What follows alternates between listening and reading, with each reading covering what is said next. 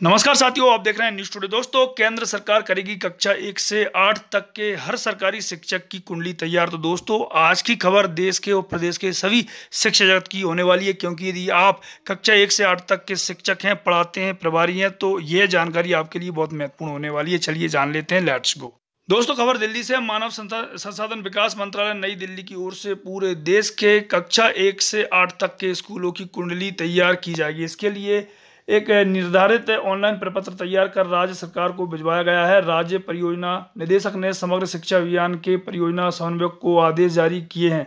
वार्षिक कार्य योजना में शिक्षक मूल्यांकन की प्रक्रिया फिर शुरू की जाएगी।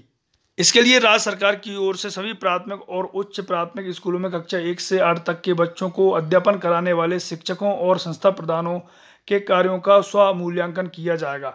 इस स्व मूल्यांकन का मुख्य उद्देश्य शिक्षकों को पढ़ाई कराने के दौरान आने वाली कठिनाइयों और चुनौतियों के आकलन किया जाएगा।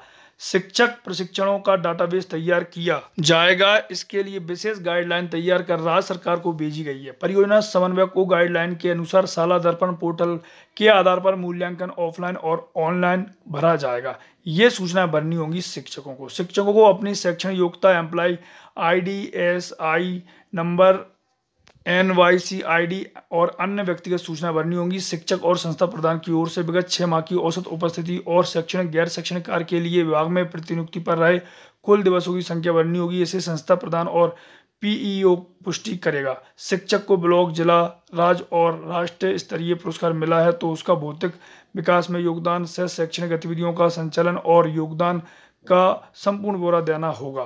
यह है मूल्यांकन का प्रारूप, जिसे स्वयं शिक्षक भरेंगे।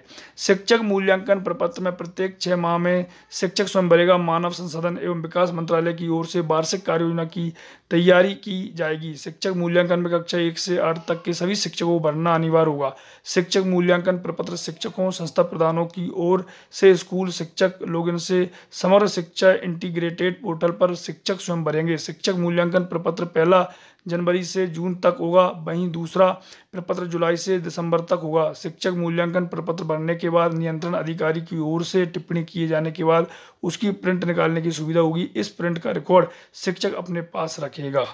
तो दोस्तों, इस प्रकार से केंद्र सरकार करेगी कक्षा एक से आठ तक के हर सरकारी शिक्षक की कुंडली तैयार। तो दोस्तों, आगे भी आपको ऐसी लेटेस्ट न्यूज़ जानकारी मिलती रहे, इसलिए आप न्यूज़ टुडे जुड़ना ना भूलें। सब्सक्राइब और बेल के आइकन पर क्लिक करके वीडियो देखने के लिए आपका धन्यवाद।